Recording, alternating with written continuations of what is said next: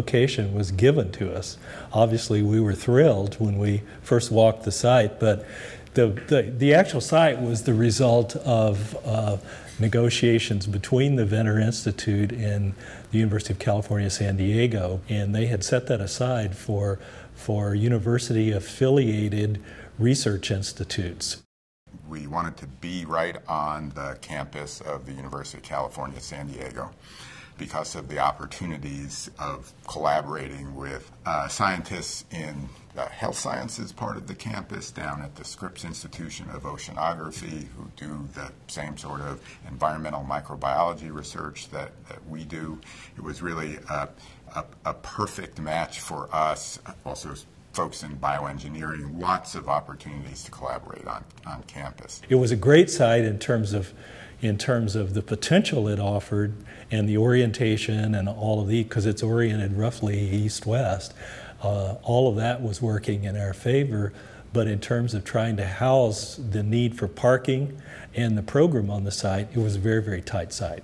We needed to accommodate uh, a little bit in excess of 100 uh, cars parking, and that was mandated by the university in their agreement with, with uh. We explored all kinds of options. We were forced to put parking under the building, and even there we raised the building up on a podium slightly so that we could passively ventilate the garage. There's no, you know, fans in the garage. It's actually pass, you know, it's open on the sides enough to get ventilation through there.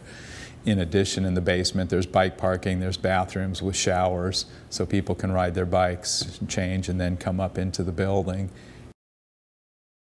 Well, the requirements on the site were that we not release any water from the building site into that ecological reserve that lies below it. And that's actually one of the best preserved ecological niches all along the California coast for that particular ecosystem.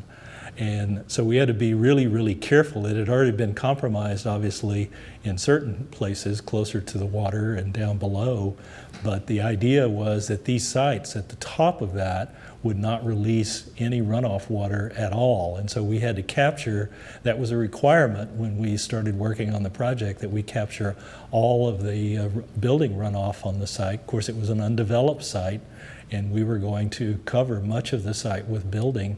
And so we had to we had to come up with a strategy to deal with that, which we did, and we went beyond that obviously because Craig's one of Craig's intents was to was to reuse that water, to recycle that water both for, uh, not for potable uses yet. We're capable of doing that in the future if we're ever allowed uh, by the water district, but capturing it all, storing it, and, and reusing it uh, for both irrigation and for uh, non-potable uses within the building itself.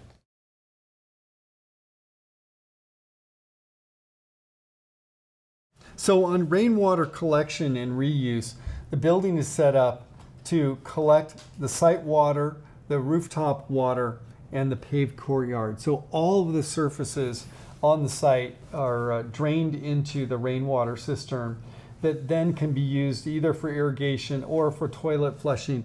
Of course, when we use it for toilet flushing, we filter and use UV light treatment on, on the water so that when it goes into the toilet, it's clean water and, and safe. The water coming off the toilets and urinals does go to the sewer, um, except for there is the potential to divert to do some research.